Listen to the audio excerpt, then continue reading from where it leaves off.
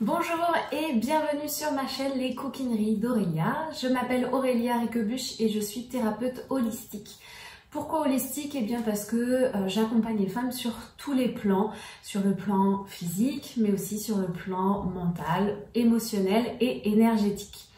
Je suis diététicienne depuis 2009 et euh, praticienne Reiki depuis 2019. J'ai aussi fait des formations dans les thérapies cognitives comportementales, euh, mais aussi dans l'EFT, la radiesthésie. Bref, euh, j'aime avoir plusieurs outils à m'apporter pour pouvoir vous aider et bien du mieux possible, pouvoir trouver euh, quelle est la racine en fait de votre mal-être, quelle est d'où vient cette souffrance qui vous coupe de vous-même et qui vous empêche de bah, pleinement réaliser euh, qui vous êtes et finalement de faire la paix avec euh, votre corps et avec la nourriture car bien souvent eh bien vous vous réfugiez dans la nourriture ou en tout cas euh, les conduites addictives autour de l'alimentation, les troubles du comportement alimentaire ne sont finalement plus qu'une résultante de ce mal-être qui euh, sommeille en vous et donc euh, ma mission c'est de vous accompagner dans cette découverte et dans la guérison euh, de vos blessures du passé pour pouvoir vous reconnecter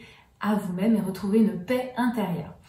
Si d'ores et déjà ce que je peux vous raconter vous intéresse et vous avez envie d'en savoir plus, je vous invite à cliquer dans le commentaire, dans la description pardon, de cette vidéo. Vous avez un un lien qui va vous amener vers un questionnaire. Donc, il y a une petite dizaine de questions pour euh, m'aider à bah, mieux connaître euh, votre situation, qui vous êtes, euh, ce dont vous avez besoin. Et on pourra prendre rendez-vous pour un appel libération pour pouvoir discuter ensemble de bah, votre situation actuelle et surtout comment je peux vous apporter mon aide.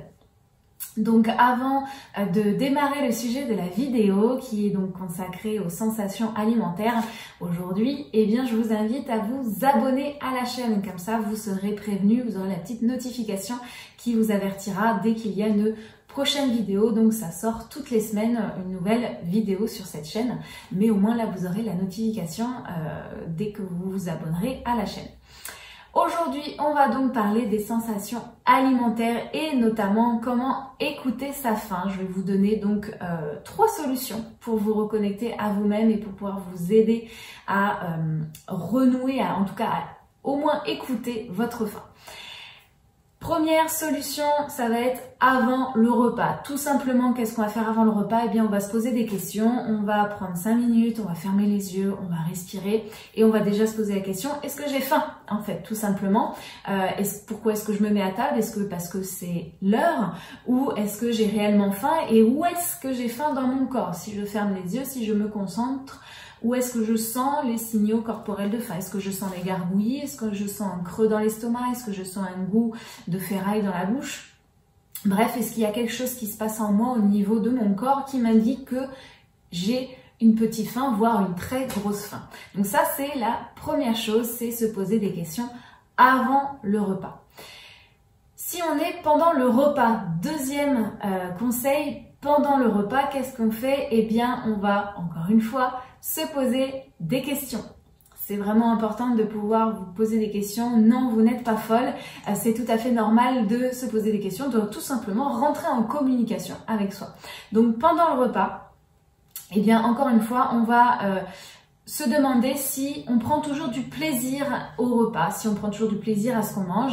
Est-ce qu'on a, est-ce qu'on trouve que les aliments ont toujours le même goût est-ce qu'on trouve que ça a perdu en saveur?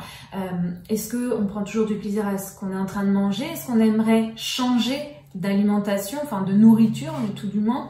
Euh, voilà, se poser des questions à qu'est-ce qu'on ressent quand on est en train de manger son assiette? Est-ce qu'il en reste dans son assiette? Est-ce que euh, quand on voit qu'il en reste, est-ce qu'on a plutôt une sensation de dégoût ou encore envie d'en manger? Bref, on se pose encore une fois des questions et on s'interroge dans son corps. Qu'est-ce qu'on ressent? Est-ce qu'on sent que euh, l'estomac commence à être bien plein ou non? Ça, c'est euh, pendant le repas. évidemment, on prend le temps de manger, on se pose, on s'assoit, il faut au moins 20 minutes pendant le, pour euh, avoir un, temps de repas euh, complet, il faut au moins 20 minutes pour que le cerveau soit en train de comprendre qu'il est en train de manger. Donc c'est un temps pour soi, on prend ce temps-là pour se faire du bien et pour se nourrir.